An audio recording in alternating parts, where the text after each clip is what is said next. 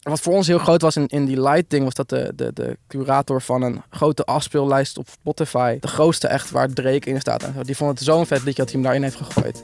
En vanaf, vanaf toen is het gewoon helemaal gaan. Een kickstart. ja.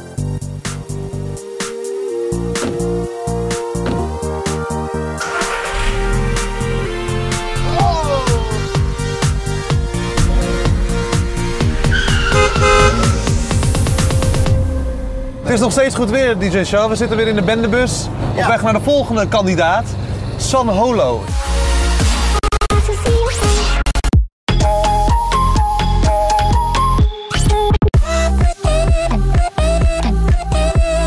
Ik zal even uitleggen, het is een jonge gast, draait veel op 3FM, ook 3FM Talent geweest. Speelde afgelopen zomer zelfs op Coachella.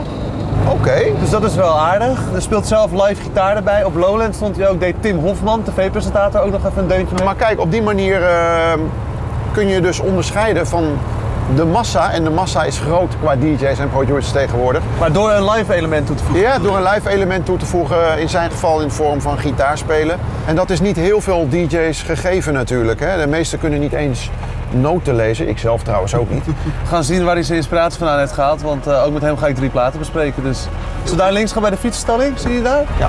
Dan eh, staat San Holo daar. Mooi.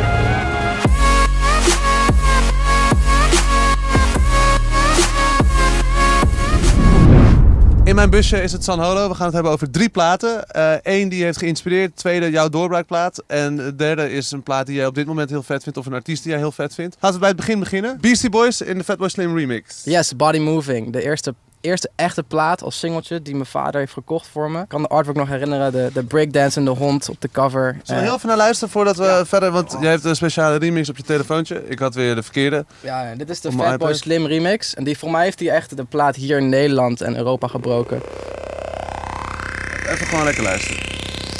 Body moving, body moving, body moving. We be body Dat sampletje is gewoon Zo goed. zo krachtig. Waarom vond jij dit zo vet? Ik denk dat het iets met de, met de beat was gewoon. De grote beat. Iets wat gewoon zo bombastisch was. Eh, voor de rest, ja, dit is een van de eerste dingen qua hip-hop waar ik aan bloot werd gesteld, denk ik. Maar het is ook ik wist- dance. Ja, het is, het is ook dance, maar voor mij is het echt meer die beat. Dus voor mij is het meer hip-hop dan dance dit. De nostalgische waarde die zo'n plaat heeft, omdat je, voor mij was ik acht of zo. Ja, altijd als die plaat aanging, ging ik dansen in de woonkamer en eh, ja, was gewoon mijn plaat. Volgende plaat ehm, is jouw doorbraaksingle Light. Ik weet het nog goed op 3FM dat hij daar opeens was. Hoe was het voor jou? Ik had wel echt een paar underground hitjes eh, die in de club en in, de, in mensen hun iP- iPod oortjes eh, groot waren, maar, maar niet op de radio. En eh, Light was wel echt het eerste liedje die ik heb geschreven die eh, in Nederland ook weer echt werd opgepikt door de radio. Om eindelijk die liefde van het moederland te voelen was wel echt... eh, Want daarvoor was het ook daarbuiten weer, hè? In, wel gaande al met, met San Holo. Ja, ja.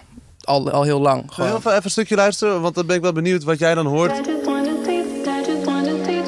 Zo herkenbare sound heb jij nu al, voor mij. Nou, gelukkig. hoor- je hoort meteen dat dit San Holo is. Ja, dat is de bedoeling. Maar waar ligt het aan?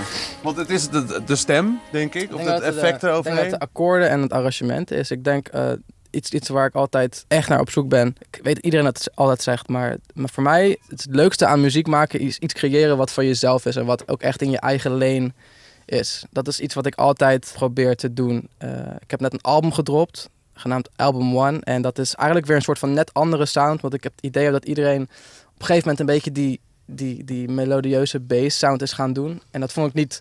Ik bedoel, ik vind het cool dat het wordt opgepikt. Maar ik wil altijd in mijn eigen, eigen stramien blijven. Wat hoor je als je hem nu weer hoort? Wat voor gevoel heb je daar? Welke herinneringen komen naar boven? Ik heb, ik heb hem gemaakt in een vliegtuig. En eh, voor mij was het naar, een vliegtuig naar Milwaukee in Amerika, naar een show. En ik had die melodie. eh, dat is het melodietje die ik in mijn hoofd had en toen heb ik die gemaakt en toen later vocals toegevoegd en uitgebracht op mijn label Bitbird zonder dat we ook maar enig idee hadden wat het zou gaan doen. En eh, grappig is dat we, het, we hadden het al een keer laten horen aan, eh, aan grote major labels. Alleen die zeiden ja, wel leuk, maar niks aan. Dus toen hebben we het op mijn eigen label gedaan, Bitbird. En eh, toen is het altijd na een maand 30 miljoen plays. En toen kwamen ze aankloppen van... hey, willen ze je wel, hè? Ja, dus dat, dat, dat vond ik wel gewoon mooi dat we het toch gewoon gedaan hebben. En dat het. eh, zo, zo zie je maar, je weet nooit wanneer iets, je weet nooit wanneer iets een hit is of niet. Nee. En, en, en je moet er ook niet naar op zoek zijn. Ik ben er nooit naar op zoek. Als het, als het aanslaat. Ik heb andere tracks gemaakt waarvan ik denk van nou, dat had ook wel groter kunnen zijn dan het Dat gebeurde dan niet Nee, het is gewoon. eh, maar dat is, dat besef is pas later gekomen. En wat voor ons heel groot was in, in die light ding, was dat de, de, de curator van een grote afspeellijst op Spotify, de grootste echt waar Drake in staat en zo, die vond het zo'n vet liedje dat hij hem daarin heeft gegooid. En vanaf, vanaf toen is het gewoon helemaal gaan. eh, Zo'n kickstart. ja, dit is wel echt voor mij het, eh, als ik deze draai, dan kan ik de fader naar beneden halen, want iedereen zingt gewoon alles mee. Laatste plaat is een eh, nieuwe ontdekking. Iets wat jij heel vet vindt. Dat kan zijn alleen maar het liedje. Of het kan ook zijn de hele artiest. Ehm, All We Are. Zo eh, is de titel. Het is geen dance, Nee. maar wel heel goed. Het is een flans. Zoetermeer ook. Is het gewoon Nederlands dit? Ja, maar weet je wat het wel is? We hebben er nu even naar zitten luisteren. Het heeft wel een beetje waar jij van houdt.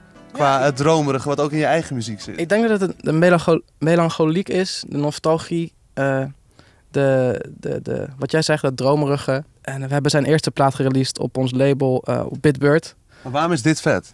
Ehm, ik denk dat hij zijn hele eigen sound heeft. Hij zingt zelf ook erbij. Eh, hij heeft, je hoort dat hij ook naar elektronische muziek luistert. Want er zit een hele vette beat in later. Dan hoor je die ook. Een soort van vette breakbeat. Dat is ook wat jij doet natuurlijk. Op het optreden op Lowlands eh, speel jij gitaar. Ik heb je ook wel eens op Eurosonic Noorderslag gezien. Speel je zelf ook gitaar. Tim Hofman deed deze editie ook nog mee op Lowlands met de gitaar. Dus jij hebt ook die crossover tussen dance en eigenlijk ja, indie muziek of bandmuziek. Ja, ik kom daar vandaan. Ik ben van origine ben ik gitarist. Ik heb heel lang gitaar gespeeld. Ik heb gitaar gestudeerd op het conservatorium. En toen ben ik eigenlijk in de IDM-wereld gerold na het doen van wat remixes. En superveel geleerd. Vier jaar lang allemaal muziek uitgebracht. En nu ben ik op een punt waarvan ik denk... Hey, ik wil eigenlijk weer dat indie gevoel wat ik had met die gitaar... weer terugbrengen in mijn muziek.